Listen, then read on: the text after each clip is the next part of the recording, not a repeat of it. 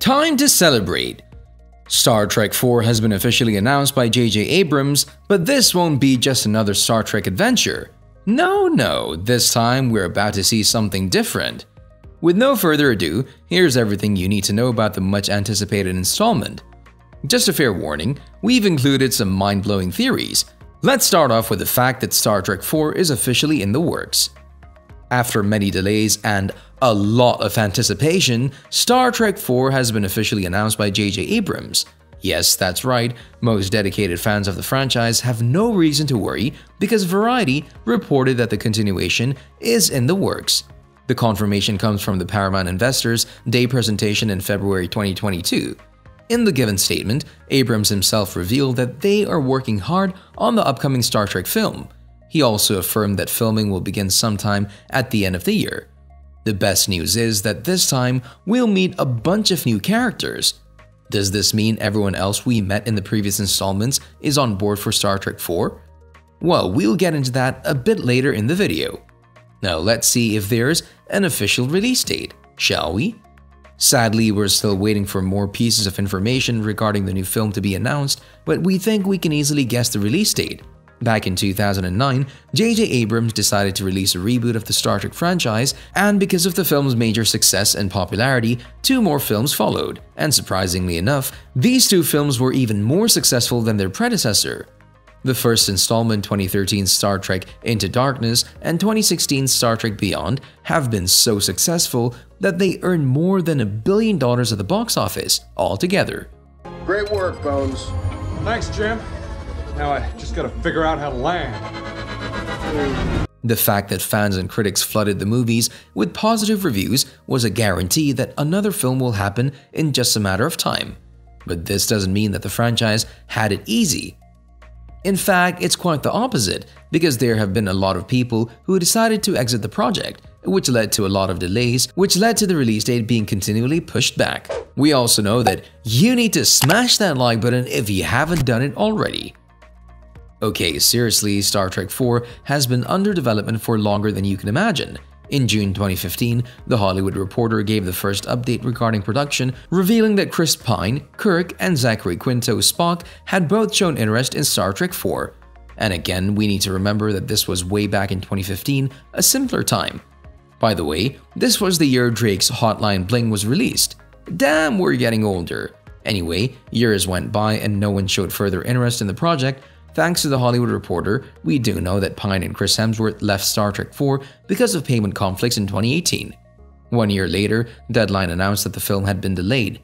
Another update followed, and the movie was set to release on June 9, 2023. They again changed the release date to December 22, 2023. But this was changed as well, with the film being removed from the release date slate. This clearly means that we really don't know when the film will release, but if I have to make a wild guess, I think we'll see it sometime in 2024 if the creators work through whatever they're struggling with.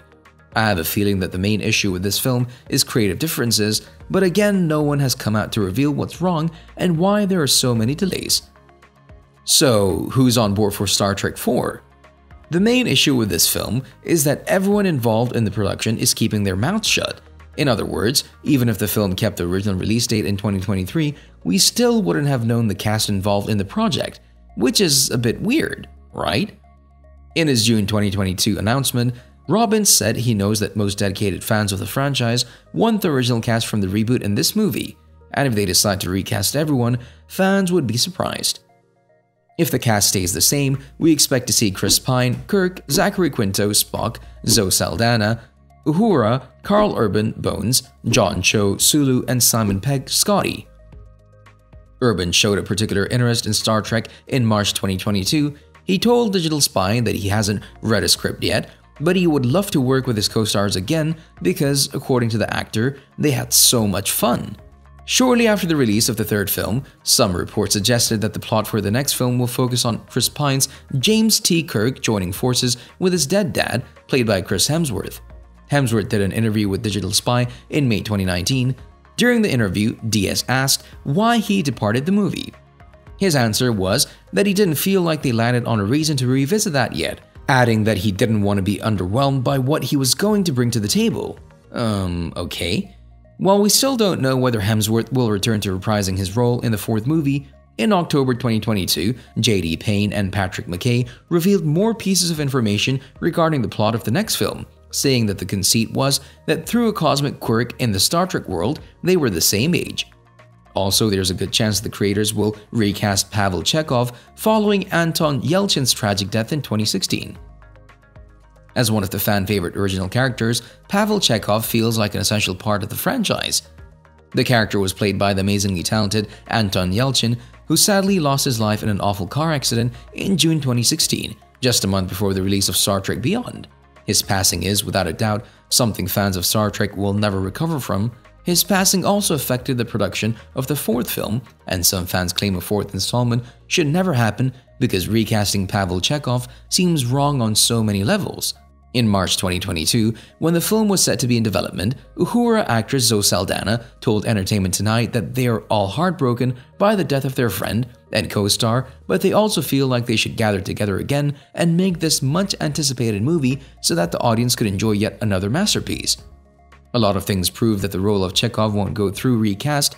For example, in a 2016 interview with Postmedia Network, shortly after Yelchin's death, producer J.J. Abrams said that there was no replacing him, there is no recasting, I can't possibly imagine that, and I think Anton deserves better. What do you guys think about this? Let us know before we get into these surprising plot details. Based on everything we mentioned before, it's really difficult to guess the plot for the next film because the creators keep the plot details under wrap, which is not surprising considering the production of the film.